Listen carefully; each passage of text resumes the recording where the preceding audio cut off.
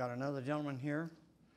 I'll try to give you eight or 10 minutes. Eight or 10 minutes, all right. All right. Uh, Just set your clocks, and uh, let's start off. My name is Peter Livingston. Uh, on- I was not in uh, the Pacific. I was in- over here in in, uh, Area 18, eating alkali dust, and ate a lot of that. In fact, uh, most of our, our- you know, we had fatigues. I'm I'm the Air Force. I was the, uh, uh, uh, was the officer of record for our little research group. I was an Air Force lieutenant at the time. And we wore fatigues, but you couldn't really tell it because we were all kind of gray uh, after eating a lot of dust. I was, we participated in two surface shots, Little Feller 1 and Little Feller 2, which were Yep. uh, sub-kiloton type devices. And in particular, one of those is, is memorable because it was a show shot. And it turns out that we had Maxwell Taylor, tall Maxwell Taylor with his helmet carefully polished. By gum, you could get blinded by looking at the sunlight off his helmet. And there was Bobby, uh, Bobby Kennedy was there, and then all of the girls from, uh, you know, from uh, Brown and Root or one of the, uh, uh, one of the site uh, contractors. They had actually they had porta potties. We've been peeing in the field for so long I can't recall, but you know, a potty was really something because we never had potties. We just did what we could, you know, with what we had. Uh, we were in the field most of the time. What we were about is this: I was uh, uh, uh, the leader of a group to measure, in the case of the little feller shots, something called EMP, which you heard about. And it turns out that in order to make this measurement, we had to surround ground zero with a big cable, about that thick, about two miles in, in diameter. And uh, we uh, co- connected this cable together, made a big circle, and uh, we recorded the current using a magnetic uh, tape recorder at the time. Ah, a little, little wrinkle. Turns out in those days, we didn't have uh, garage door openers and good things like that. So in order to get your equipment to work, you had to have God forbid, lines, you know, a telephone line that went, you know, a mile away to your, to your control bunker. I actually have pictures of those bunkers here I brought with me that were official photographs taken at the site, and I will turn them over to, to the historians here so that they can put it in the record. But Thank you. anyway, these uh, timing lines, you had to destroy before the bomb went off, because if you didn't, the EMP you were trying to measure got into those lines and would screw up your equipment, sure as I'm standing here. So, uh, what you had to do, and this is why I was called Primacord Pete. I used to have rolls of Primacord wrapped around me this way, sort of like a bandolier, and we'd wind the Primacord around the timing line, and when the countdown came down, we blew up the timing lines about five seconds before the shot would go off. Then, then the, our equipment was running and everything was fine, and the, you know, the weapon went off. We made our measurements and everything fine. Uh, but there was this one time, and this was what I was telling you about, uh, you know, Maxwell uh, uh, Taylor and his shiny helmet and everything, and the show shot. Well, it turns out that the general in charge was an Army general whose name I've mercifully forgotten over the years. He wore pink, you know, can you imagine uh, uh, World, World War II, pre-World War II, the cavalry uniforms had sort of these pink, uh, Pink. uh, They were pink. They were pink. Yeah. And he had a pair of those on. So he was walking around. He was a, he was a, you know, significantly only a, a a brigadier general. I, I can understand why. Anyway, uh, it turns out that they had to fire a couple of uh, timing rounds to be sure that the, uh, uh, that the uh, recoilless rifle team got the, got the bird where it's supposed to go. Well, yeah, they kind of made a mistake and came up 200 yards short. And guess what? Smack on top of our timing line. So I grabbed my number one, who isn't here. I, uh, Sandy Bumgartner uh, is, would, would be here, or perhaps will be here tomorrow. Anyway, we drive out and go fix the timing lines. And the general said, got on the radio, uh, uh, son, you can't go out there. But sir, but sir, our timing lines, you know, there's an experiment, you know, $300,000 worth of experiment. Can't do that, son, got to come back. Why is that? Because there's unexploded ordnance out there. Shit, we've been working in the field for, you know, six to eight, you know, weeks solid. And had we, if we were going to be blown to breakfast because of unexploded ordnance, we would have been blown to breakfast, but we weren't. And it turns out that, that, you know, what the general was doing was covering his butt because uh, he didn't want anything to go wrong. He didn't want me to screw up what was coming up to be the big show shot. Well, the shot occurred, the equipment didn't work, and I was, uh, I remember at least got, getting so angry because we had no sleep, We'd been in the field so long, I picked up a shovel, and I was going to part that general's hair with a shovel. That was at a time, by the way, I decided that maybe I would just stay in the reserves and not take that regular commission. And so indeed, I did resign eventually and, and was, was honorably discharged. But anyway, that's the story of the timing line fiasco. But uh, we did get measurements, and I should say that the positive side of the story is we did get measurements on other things. And it turns out that we used, I, I did the theory, so I'm, I'm well aware of what went on. But you know, in, in uh, solving Maxwell's equations, uh, was able to develop a good expression for the near fields, which were the issues that we were looking at. And we used that information ultimately, uh, others did, I didn't, but others made use of that to defend the Cheyenne Mountain NORAD site against EMP. So the NORAD site was, was fully defended back in the, oh gosh, I would put that in the middle 60s. And it was very carefully done so that not only was the site defended against mechanical and thermal and radiation effects, but also against EMP. Also, there was a big program at, uh, you know, obviously, a classified program at uh, Sandia Base, which was next to Kirtland at the time. Now it's all one. Yeah. But that time it was, uh, and they had uh, large aircraft and, the, and they had a Marx bank, which is a device for producing really high voltage and high currents, uh, next to it when they would discharge this thing and they would measure EMP uh, in the communications equipment and all the rest of that. So there was a lot of measurements of EMP and, and anybody who's interested in the theory, I can tell you about how it works, how it's related to atomic uh, dimensions and all of that because I've worked on all of that uh, from first-hand basis. I'm not going to bore you with it now. Anyway, that's that shot. Then I'll have to tell you my, tu my uh, uh, tunnel shot experiences. I watched one of the stemming failures, the first one, and all the stuff come out of the tunnel. Can you get closer to the mic, please? Oh, sorry. Uh, well, I, you know, I have another story to tell, but I'd like to get other people up here. But the story is uh, one of the early tunnel shots and about what happens when uh, there is something called a stemming failure, which means that you don't shut down the tunnel fast enough uh, for one reason or another, and I know why. And all of the stuff in the tunnel comes out in slow motion, and you watch the rails and all of the coax, miles and miles of coax, and the Tektronix 519 scopes and all the cameras floating out and then slowly descending into the valley, finally followed by a puff of uh, radioactive dust and whatnot. And that's a IJ, com- that was the IJ uh, complex, Yeah, IJK. yep. So Up in anyway, area, up up in, up in area 12. yep, that's right. That's where it was. Anyway, that's the story. I'm going to stand down. Thank you. Thank, thank you so much. Go, go ahead. Uh, Would you extend that to the first underground test? I'll, I'll tell my stemming story that, uh, Come on up. I can tell you what he's going to talk about. It's the IJK complex at the Nevada Test Site at Area 12. And uh, we thought we had really uh, engineered steel doors and everything in the drift. And I got to tell you, they all came out the front portal pretty damn They quick. They certainly did. They did, they, And- they, they and- scrammed. And those doors went across the valley. Well, let me, set, go ahead. let me set the stage for you a little bit. Turns out that, uh, of course, uh, surface testing uh, by treaty became, after Little Feller 2, that was the last surface test uh, at the Nevada test site in this country, period. Now, we were immediately, and we had already started to develop underground testing because we at, at Kirtland Air Force Base had a mission, and our mission was to, to protect the assets that we had, our, our airplanes and other things. And there were a series of threats, and I've, I've already talked about the EMP thing. I'm going to leave that aside. And it turns out that another big subject was something called the X-ray effect.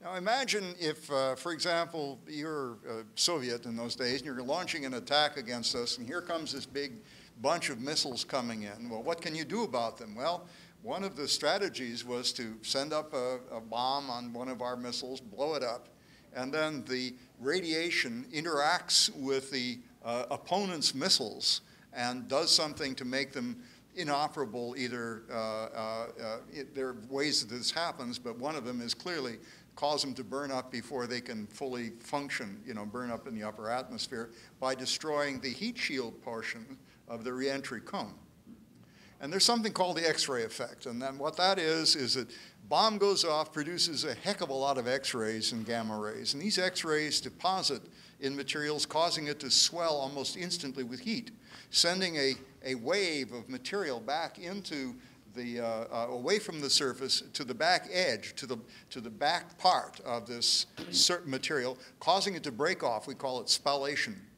And these pieces fly off in the inside of the weapon and screw it up thoroughly. At least that was the, that's the claim. And so I and others built codes, you know, where we try to detect and, and, and predict these things. And so we did. We built our codes and we predicted the heck out of it.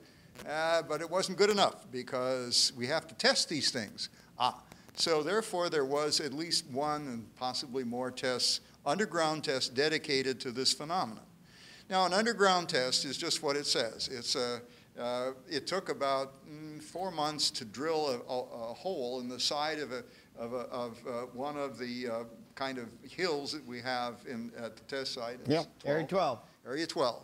And this is a tunnel, just like miners do, and it was built in the same way, large uh, walls, and there's a little railroad track that runs down the center, and that there is the end of this tunnel, which is about, oh gosh, uh, almost a mile into the, into the uh, underground is the zero room where the weapon is placed.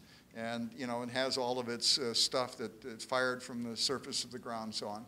Uh, but then uh, the idea was that we have a series of measurements. We had a, some pipes that led from the zero room to various measurement stations to measure the uh, radiation content as a function of time and various means of measuring it. Oh, gosh we used a lot of oscilloscopes. Uh, there was a wonderful Tektronix scope called a 519, which was a gigantic thing. It had tubes in it and was the fastest thing alive. I mean, it was it it could measure, gosh darn, microseconds, and that was big deal in those days. In in uh, you know having a bandwidth that was megahertz, multi megahertz bandwidth, that was really a wonderful instrument. We loved our 519s. You couldn't couldn't tear them away from my dead gold fingers. My 519 is my life. Well, anyway, so we had lots and lots and lots of those stationed in this thing. Now, the, the idea was that what was going to happen is that the bomb was going to go off and sends a wave in the earth around it. And the idea was that this shock wave going through the, going through the earth was supposed to coalesce at the, uh, uh, some distance away from the ground, you know, from the zero room, and cause the tunnel to collapse before all of the, the gases and things that would be moving at sonic speeds could come out of this out of the zero room and, and get outside. And that was called stemming. And it was a calculation you had to do that had to do with the properties of the earth, uh, of, the, of the rock surrounding this room. And if you got that wrong, why uh, you calculated speed that was wrong, why the gases had come out before, you, before the tunnel would collapse, and you'd have something called a, uh, a stemming disaster. And that's what happened.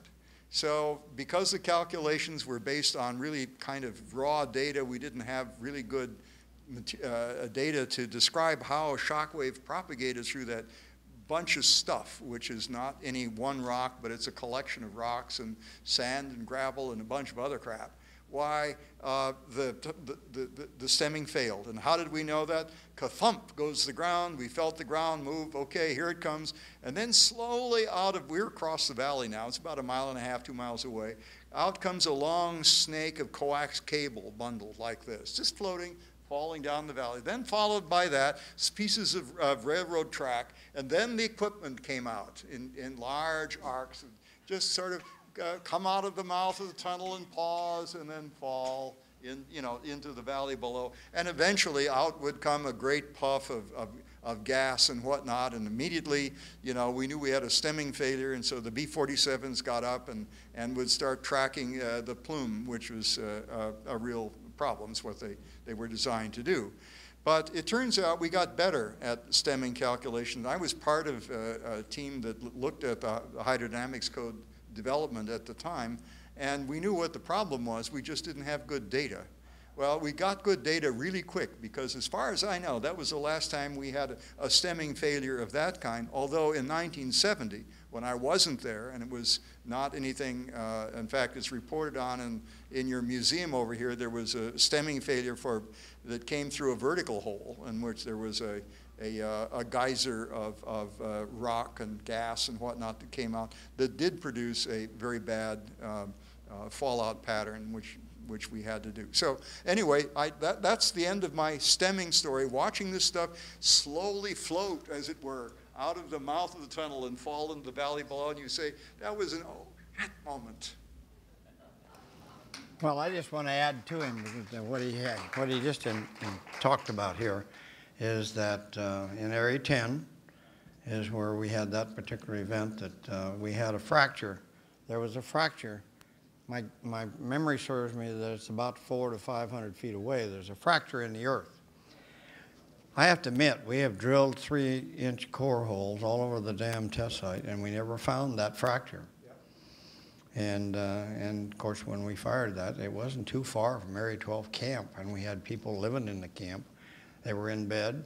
Sound, some of them were sound asleep because they were security guards. And, uh, yeah, you know, we fired it, and it wasn't very, you know, we found this weakest point, and it went right across. My memory serves me it's between three and 500 feet, or maybe a little more. And uh, it come up out of the earth, and as he mentioned to you, the yeah, we got all the dirty stuff that come out with it.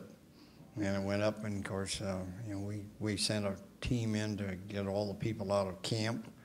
I have to admit, we got some, some of the workers out of camp. They never even got their billfolds. They, they came out with their BVDs on, and that was it.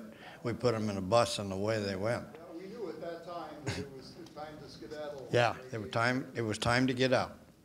And so, uh, you know, that's one of the, I, I guess I want to say one of the major accidents that we had. Um, I don't, were you affected with the Defense Nuclear Agency in any way? Uh, I was not a, I was a captain at the time. Okay, I I was actually serving, I was a hip pocket captain. I was Okay. serving as a first lieutenant. Uh, But uh, they were next to us. okay, Yeah. I was stationed in Kirtland, and the AEC and all of that, DNA was over in, yeah, at Sandy Base. Sandia on Sandia. Yes, right. Yeah, well, that's when, And that's where we had our connection with Sandia. yeah, And Sandia had a lot of testing equipment, as I described earlier. Sure. On, on their property. And, and we at Kirtland, uh, for the flying part, were mostly associated with trying to, uh, improve the defenses of our B-47s, later B-50 Okay. came in to be. you may, Uh, to be, yeah, well, to, uh, we, we did a lot of measurements on them, Mm -hmm. Yeah, measurements. sure. And so we changed a lot of, uh, B-52 and B-47 interior. yeah, well, you, you may have been associated with their Air Force Tactical Air, uh, AFTAC. Yeah. But I think it was called AFTAC, if I remember correctly. And, uh, now, like some of the other things that we've had, that, that, you know, we started in uh, 1963. You know, the Nevada test site was basically uh, uh, kind of a, uh, a temporary site. And uh, Nick Aquilina and myself and a couple other people, we all went to Washington D.C. and said to the to the AEC, you know, if you want us to continue testing, we got to have some permanent facilities. We just can't live in temporary positions anymore. And so we started a big program, and we in Mercury, my, we we built um, maintenance shops and we built new cafeterias and and we started building. Um, there were cinder block homes, and or I should say cinder block motel rooms, but you shared a bathroom between the two rooms. And uh, that was a major program. It really was. We built a new warehouse, and um, uh, we also had the University of California that uh, was collecting a lot of animals and, and uh, across the desert. And uh, down in Mercury, we had a we had a particular warehouse that had a lot of glass into it.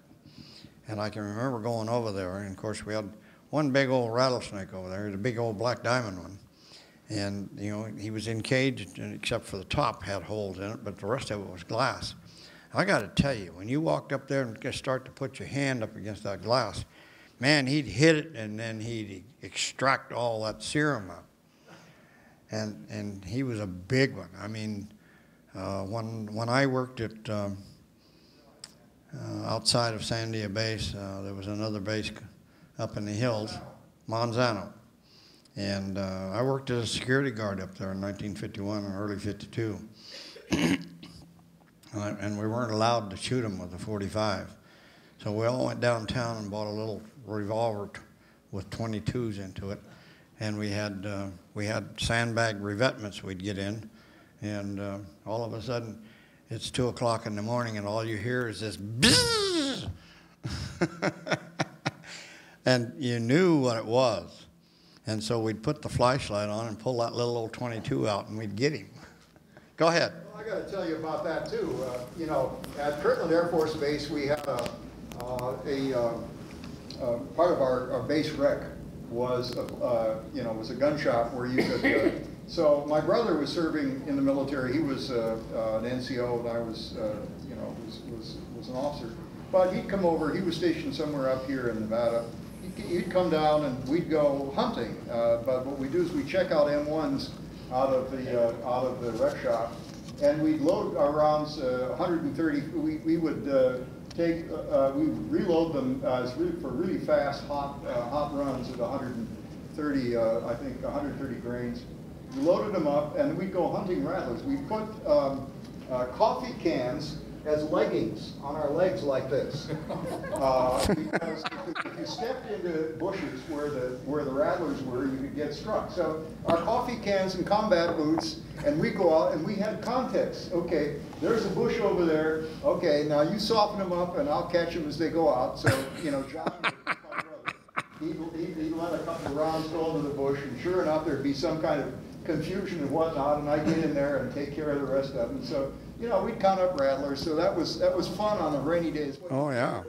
You know, when when I was up at Manzano um, as a young boy, We were down, we were, Yeah. went over the other side of Sandia and do that by the way. Yeah. So that was, uh, I can remember at Manzano, uh, we had a young boy that was probably, I think my memory serves me, from Montana. And, uh, you know, we ran into some of those rattlesnakes. And, uh, you know, but when I was in, in high school, or even probably down in the seventh, eighth grade, we had what we call leather leggings that you put on above your boot or your shoe. And so I wrote my mother and said, send me my leather leggings because I said, you know, I, I want something to put above my shoe so that when that sucker hits my leg, he's not going to just get uh, you know, the tissue of my leg. He's going to get that leather first. And uh, but anyway, this guy from Montana, one night he shot this rattler, and then he was a he, he said, you know, I like rattlesnake meat, and so he skinned him, and I got to tell you, put him on a it was a piece of plywood. It was about 14 inches wide and over seven foot long. And when we stretched him out, that skin skinned it out. The big portion of the belly was one foot across. He was one huge rattler. did he taste like chicken? I don't know. I didn't eat any of it. I've never eaten it. I've never eaten it. And so, but anyway, we were coming down off of Manzano one night. Uh, we had a six by six, and there was also a vehicle that had uh, kind of like a tank, only it had rubber tires onto it, and it had a, uh, a siren onto it and a red light. Did have a 50 caliber machine gun on top. well, the kid was driving by six. We were coming down the hill because to get up to Manzano and get up where the storage uh, areas were, where you had bunkers all over the place, and uh, we're coming down off the mountain, and he threw the red light on us, and of course the kid hit the brakes, and there were no brakes. And all the next thing we knew was, you know, on a six by six, you set on the sidelines, on the side of, of, the, of the six by six. He cut down with that 50 caliber machine gun, went right down through the center of that six by six. The engine quit running, and he, I don't know how this kid, you know, um, he had to have the help of the good Lord because he finally got that sucker in reverse. On how you don't normally get a truck in reverse going forward; it just doesn't happen. And he did it. And of course, uh, the kid later he said, "I'm sorry, I just, you know," and he said, "I didn't realize that you didn't have any brakes." Well, he didn't know that, you know, poor guy. Uh, but I did work on Manzano. Manzano had Oh, let's see. There was uh, the first fence was uh, just an ordinary cyclone fence. The second one was a cyclone fence, but you could drive your vehicle as a security guard. You could drive between those two fences. The third fence was a fence that had uh, um 220,000 volts in it. And then the fourth fence was on the inside of the, of the compound, and uh, you, you never drove between the, the, the heavy 220,000 volt one. You always drove on the ins, uh, on the in, uh, outside, outside around, between the first and second fence. And uh, yeah, we've had some experiences on that one too. Okay, so what year was this picture taken? The picture is taken in 1956. I was commissioned in August of 1956 in Waco, Texas, as a second lieutenant. I since was given a deferment for four years where I finished my PhD at the University of Wisconsin, went on active duty uh, January 8th, 1961, and I served on active duty from 1961 to 1964, stationed at Kirtland Air Force Base in the physics division. So that's that's where, and I am I am a, a, a physicist from that day to this. I mean, I was trained as a chemist, and then gradually became a physicist in the grand in the grand scheme of things. Still am, as a matter of fact. So. Um, so let me just finish this, and Sure. I can concentrate on your question. So I think probably rather than rattle on, what I'd like to do is to let you ask me questions and then go from there in order to have you control what you want uh, and I can respond, and et cetera. Sure, I'll be glad to do that. Um, so it is October 24th, n- 2015. Um, we are at the Atomic Testing Museum in Las Vegas. Um, and I'm speaking today with Peter Livingston. So, um, Peter, we just put on tape a little bit of how you got started in the service. Would you start by telling us um, your connection with atomic testing? Sure. Um, as, as, you know, as you know, I went on active duty, uh, assigned to Kirtland Air Force Base in 1961. Very cold, January 8th, 1961. Very cold. And uh, in that time, the physics division was primarily devoted to what are called weapons effects. And in fact, my uh, service number here was nuclear effects officer. So that was my assignment, so called, that was my MOS. Uh, and um, these, this had various things. For example, um, one of the major concerns at the time was if the Soviets were to launch a major uh, a nuclear attack, how could we defeat their missiles before they struck us? And one of the things that, of course, emerged was that if they, if a flood of missiles comes at us and we, we are able to launch a nuclear weapon in space and it goes bang, uh, various things happen to the enemy warheads. And if we can cause bad things to happen, and there's a variety of those, why then the warheads will fail and we are saved. So, needless to say, a, a tremendous amount of research went into the details of how you go about making a warhead fail in space. Now, in order, uh, and of course, as a theoretician at the time, I was involved with a lot of modeling of various kinds of things that go with that. At this, to this date, even though it was 50 years ago, I'm not sure about the classification status, so I'm just going to say that, that there are a number of mechanisms that we explored. But quite obviously, in order to find out if our models meant anything, we had to test these models. Ah, but where could you test them? Well, needless to say, uh, Nevada Test Site was one. So I was assigned over a course of time to the net, to a research team here, which I was given as a, as a ranking officer. I had a team of people uh, come and work with me on measuring an effect in this case, not having to do with warheads, but having to do with another thing that you've heard about, so-called electromagnetic pulse. Electromagnetic pulse devices were, uh, you know, people have talked about weaponizing them, and they can be weaponized. And the Soviets had a, um, later on, after I left the service, had a missile in their inventory, which was, a- was a- a device that, that did that, and we also had them as well. Uh, But this effect, and, and we devoted ourselves to measuring this EMP effect and on the surface tests of the little fellers one and two in this project, uh, in this Operation Dominic. And uh, there were many things that were accomplished in those tests, and I'm not aware of all of them, but I am aware of what it is that we were interested in. And the story here goes back to the original Operation Trinity in, uh, uh, New Mexico. It turns out that when the weapon went off, um, many, uh, a lot of equipment in those days uh, had to be controlled by, by wires that turned them on and turned them off and so forth. And it was found that a lot of the wires uh, and equipment to which they were attached were destroyed. Uh, they, uh, as if they had just burned up through tremendous currents. And so naturally the question came about where did these tremendous currents come from? Obviously they're associated with a nuclear blast. Well, we know now how they, they came about. I, I did some of the original modeling of that, and it turns out that Maxwell's equations are, are coupled with atomic bomb physics actually give you a pretty good estimate of what to expect for things like that.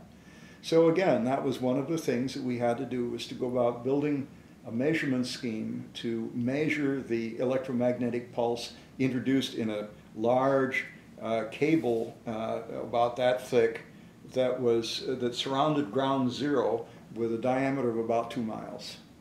And so we had a recorder, a tape recorder device to measure the current in this cable loop uh, during the atomic bomb uh, burst. And uh, that was something that we could predict.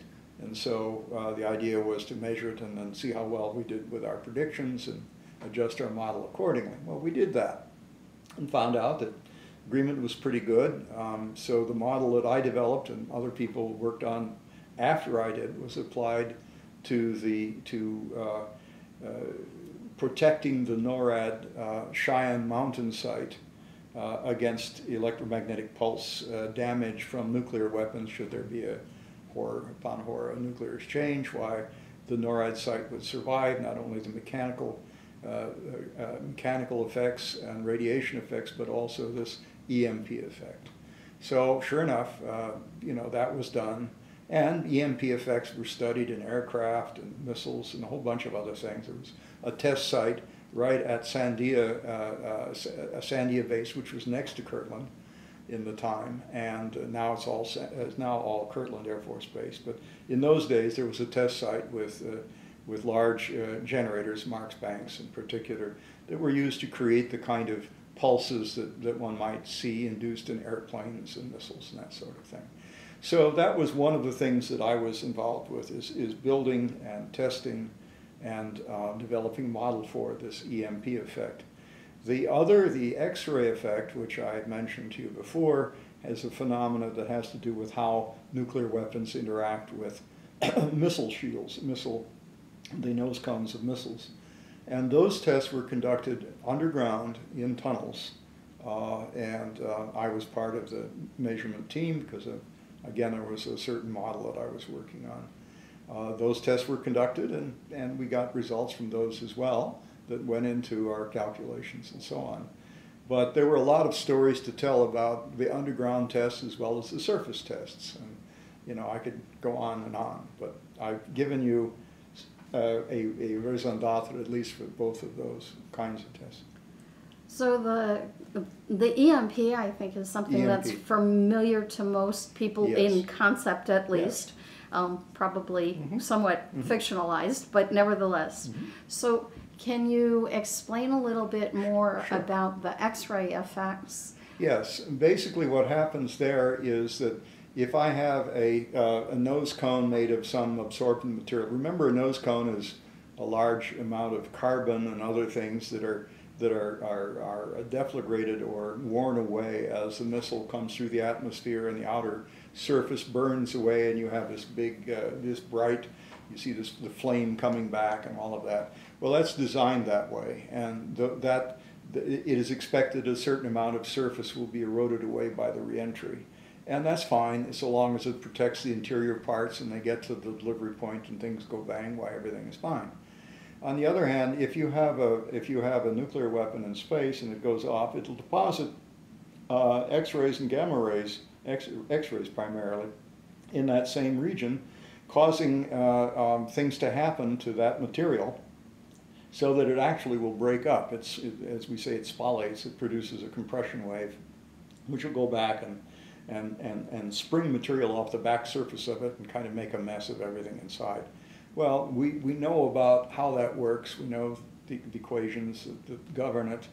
Uh, we have made, uh, uh, there are laboratory measurements could be made to support this effect, but ultimately we had to test it. Uh, and so that's one of the tests were uh, to test for this phenomenon uh, at the test site. The person in charge of most of that, I think, was Don Lamberson, Captain Lamberson, who later became a General uh, General Lamberson, a four-star general in the in the U.S. Air Force. Uh, in fact, Jack Welch, my superior, was captain at the time, also became a three-star general, and I believe retired as the head of DIA. So uh, I've come from, and these were people who were non-pilots. That was the big thing in those mm-hmm. days. Uh, all of us at the research lab, with the exception of the head, were people who didn't fly airplanes. We were physicists and that sort of things. And there was, uh, we felt, a fair amount of discrimination against non-pilots so that if you wanted to make the highest ranks in the Air Force and didn't fly, that was an added hurdle that you had to overcome by being really good at what you were doing. And sure enough, uh, these two gents that I mentioned were good at what they did. So, did the Air Force actively recruit physicists for these programs? No, I wouldn't say so. Uh, what actually did the recruiting was uh, Korea. And the choice of being drafted in 1952 or joining ROTC, which I did, and getting a commission and then serving at in some more regulated manner. And in a way, I knew that I was going to be a good scientist, and I have been. Um, so it was a choice I made to go through the ROTC route, get my commission, and not go to Korea. And were there multiple science groups?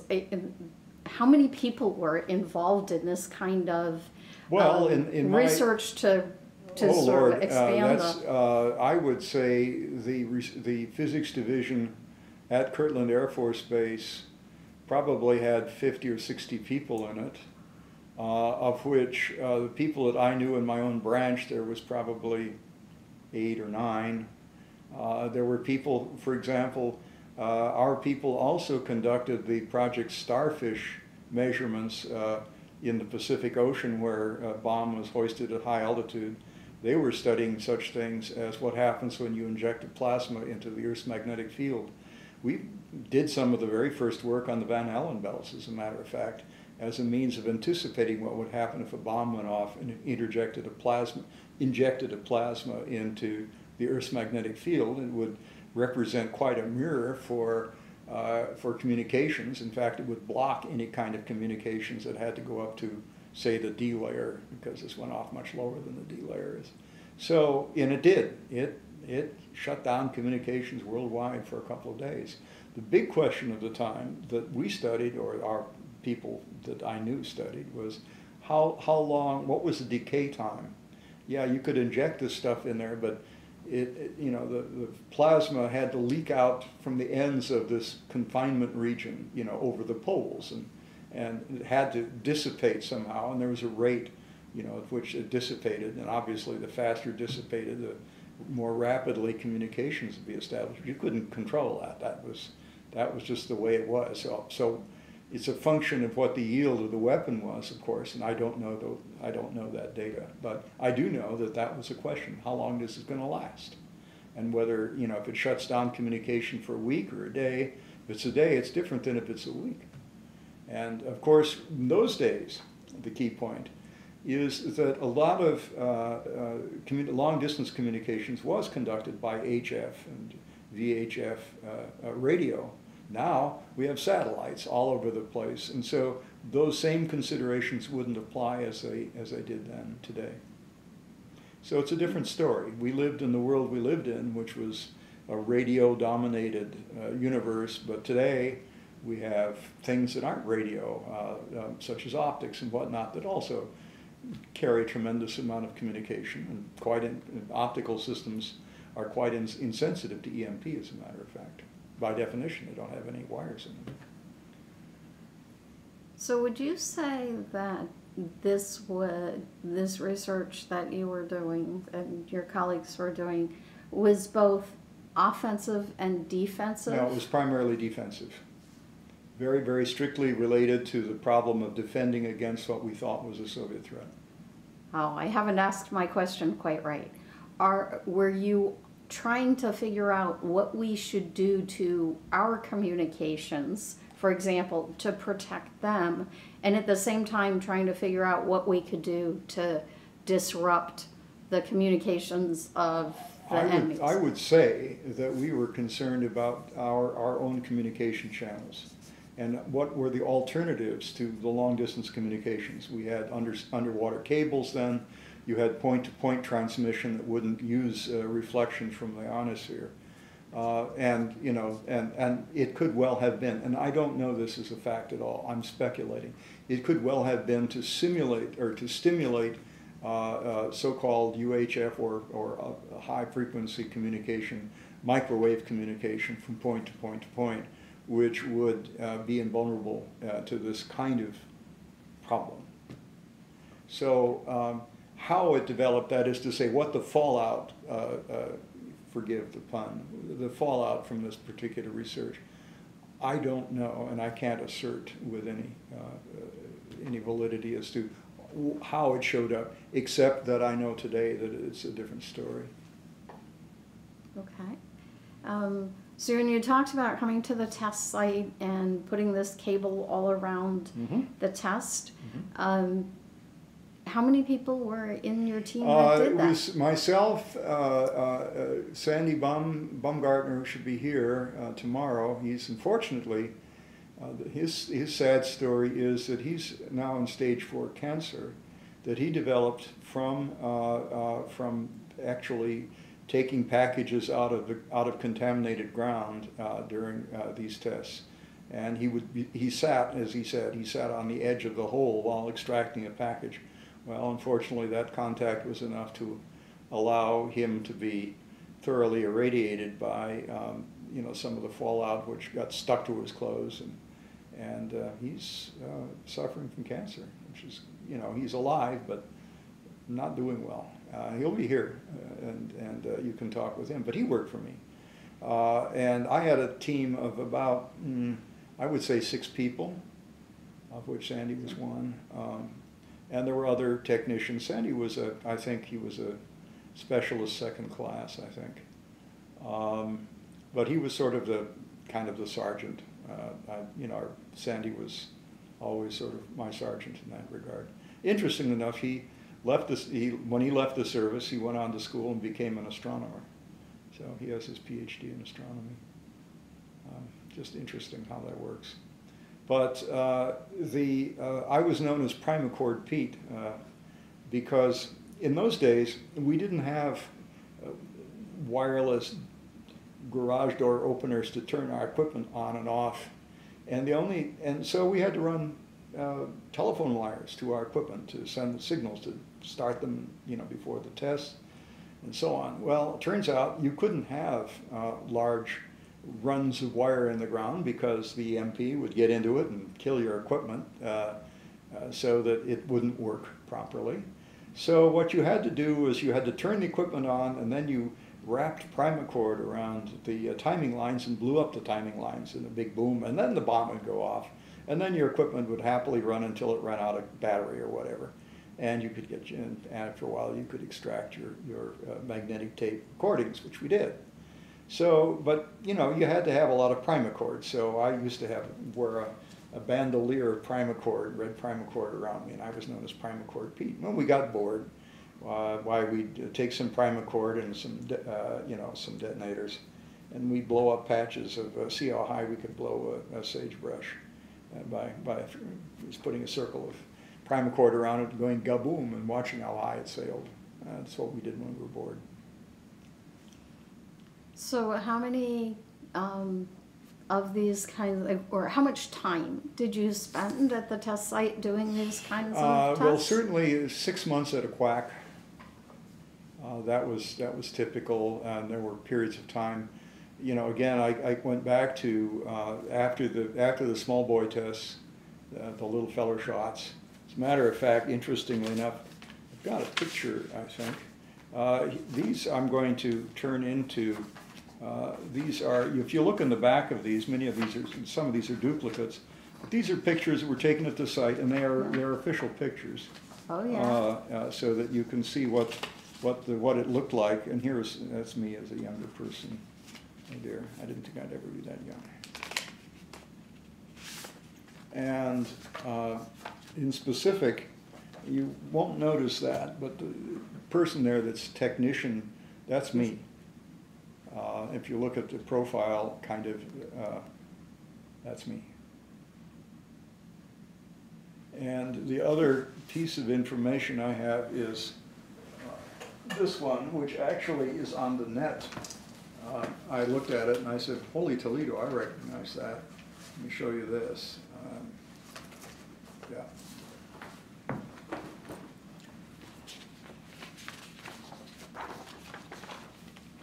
Uh, If you look at the bottom, there's little feller two.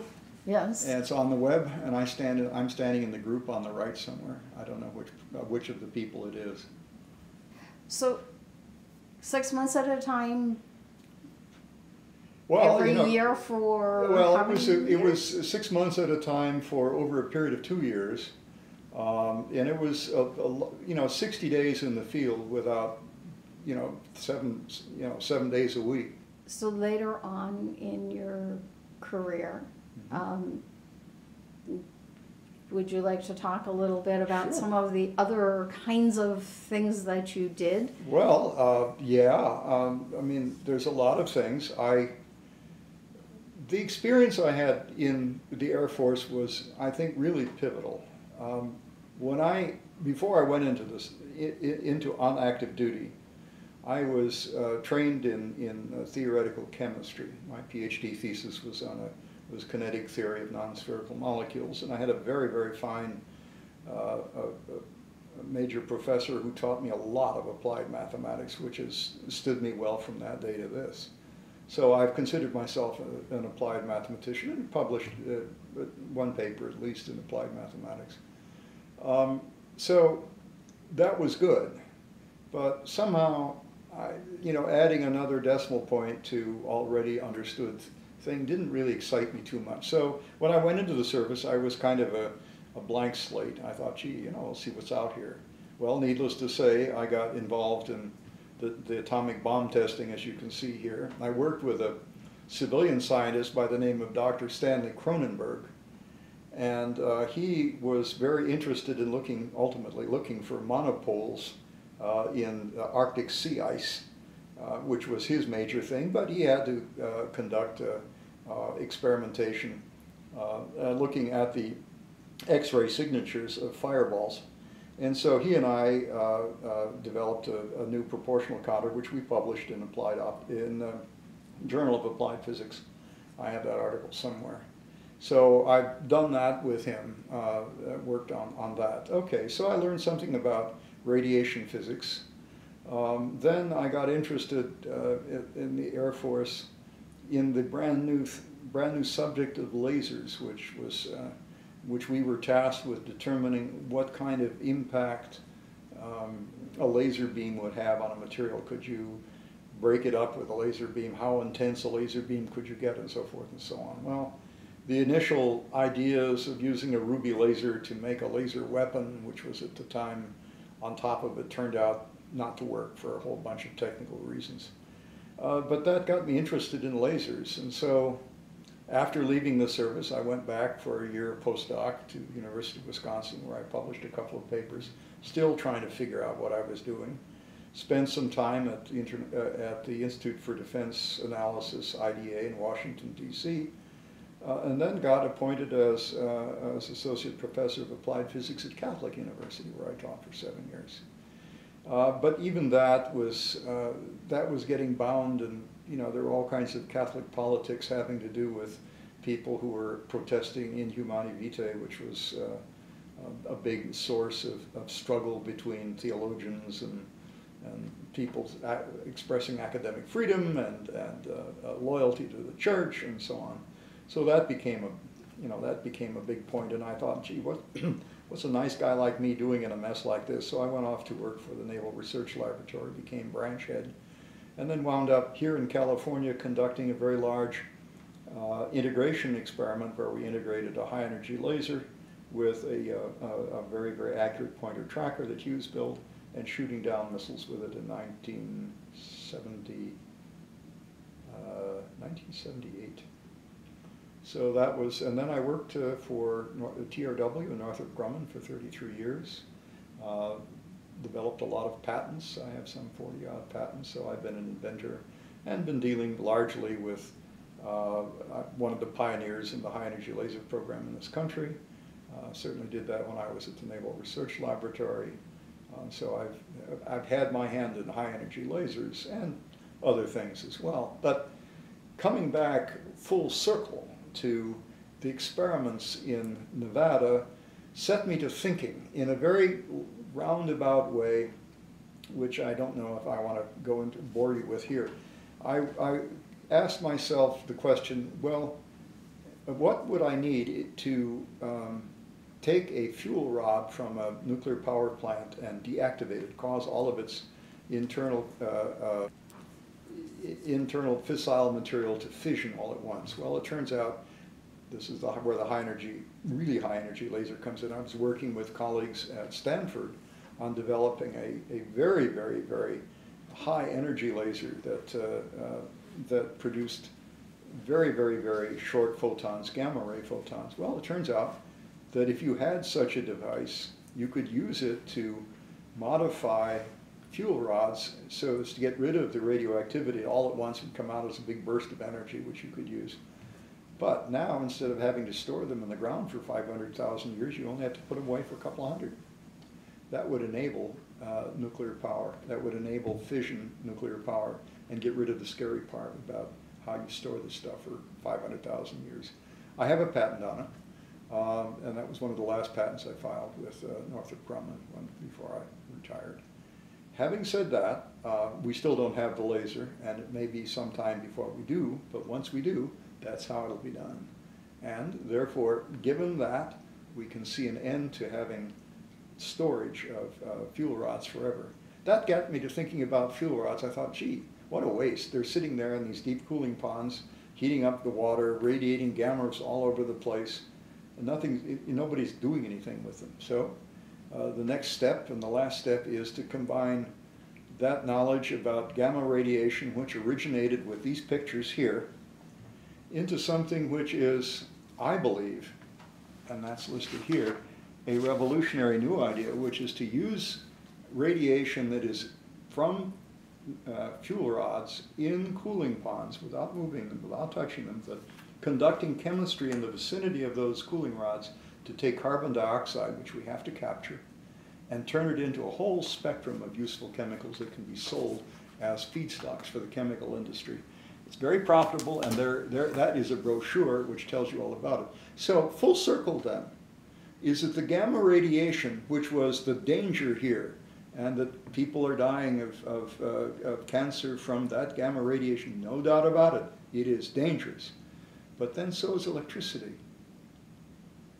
People are, are electrocuted all the time because they grab the wrong thing at the wrong time. Yet we have electric lights, we conduct lethal electricity through our houses, and we use it to benefit. Now, are there ways that we could use nuclear radiation from spent fuel rods to benefit, to do something useful that we want? And the answer is yes. Now, it's limited, much more limited than electricity, but in the area for which it does work, it works extremely well. That's what I have uh, drawn up here. And so that's the full circle from my experience in, uh, in, in, in Nevada.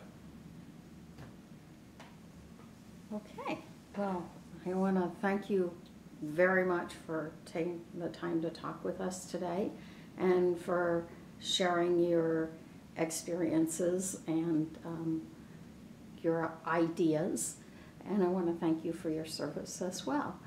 Um, and I want to ask you if there is anything that we've not talked about that you would like to add to this discussion that you would like to um, share with the museum and other folks who might see these. Well, when we were in Nevada, we were young. We were adventuresome. And there was a very, very good esprit de corps among all the people that I knew. We worked hard, we depended on one another, and frankly, it was one of the most exhilarating experiences of my life. Now, some of us got burnt literally, uh, but we thought we were invulnerable. Nothing could ever, happen to us. Well, okay. But it was a great experience and I wouldn't trade it for a million years.